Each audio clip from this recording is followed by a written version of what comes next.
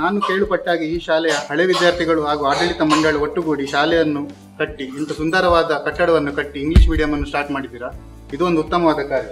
ನಮ್ಮ ಸಂಸ್ಥೆಯ ಪರವಾಗಿ ವಾಟರ್ ಪ್ಯೂರಿಫೈಯರ್ ಹಾಗೂ ನಿಮ್ಮ ಬಿಸಿ ಊಟ ಕಾರ್ಯಕ್ರಮಕ್ಕೆ ನಿಮ್ಮ ಅಡುಗೆ ಕೋಣೆಯಲ್ಲಿ ಉಪಯೋಗವಾಗುವಂತೆ ಮಿಕ್ಸಿ ಹಾಗೂ ಪಾತ್ರೆಗಳನ್ನು ವಿತರಣೆ ಮಾಡಿದ್ದೇವೆ. ಇದರ ಉದ್ದೇಶ ಒಂದೇ, ನೀವು ಮಕ್ಕಳು ಶುದ್ಧವಾದ ನೀರನ್ನೇ ಕುಡಿಯಬೇಕು ಹಾಗೂ ಒಳ್ಳೆ ಆಹಾರವನ್ನು ಸೇವಿಸಬೇಕು. ಎರಡು ಸಾವಿರದ ಹದಿನೆಂಟರಲ್ಲಿ ನಮ್ಮ ಶಾಲೆಯಲ್ಲಿ ಇಪ್ಪತ್ತೆಂಟು, ಮೂವತ್ತು ಮಕ್ಕಳು ಈ ಶಾಲೆಯಲ್ಲಿ ವಿದ್ಯಾಭ್ಯಾಸ ಮಾಡುತ್ತಿದ್ರು. ಎಲ್ಲರಿಂದಲೂ ನಮಗೆ ಈ ಶಾಲೆಯನ್ನು ಯಾವ ರೀತಿಯಲ್ಲಾದರೂ ಮಾಡಿ ಉಳಿಸಬೇಕು.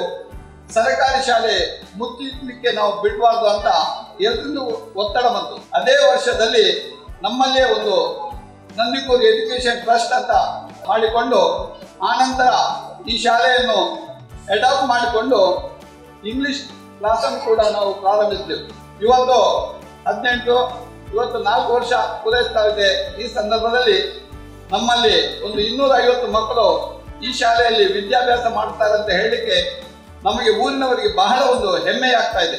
ಇವತ್ತು ನಾವು ನೋಡ್ತಾ ಇದ್ದೇವೆ, ಒಂದು ಸರ್ಕಾರದಿಂದ ಸಿಗುವಂತಹ ಸವಲತ್ತುಗಳನ್ನು ಇವತ್ತು ವೆಂಟಿನಾ ಫೌಂಡೇಶನ್ ಅವರು ಯಾಕಂತ ಹೇಳಿದ್ರೆ ಈ ಸಣ್ಣ ಮಕ್ಕಳಿಗೆ ಮುಖ್ಯವಾಗಿ ಬೇಕಾದಂತದ್ದು ಕುಡಿಯುವ ನೀರು, ಒಂದು ಶುದ್ಧವಾದಂತಹ ನೀರು, ಅವರಿಗೆ ಒಳ್ಳೆಯ ಆಹಾರವನ್ನು ಬೇಯಿಸುವಂತಹದ್ದು ಒಂದು ಆ ಪಾತ್ರೆಗಳನ್ನು ಇವತ್ತು ಒದಗಿಸಿಕೊಟ್ಟಿದ್ದಾರೆ.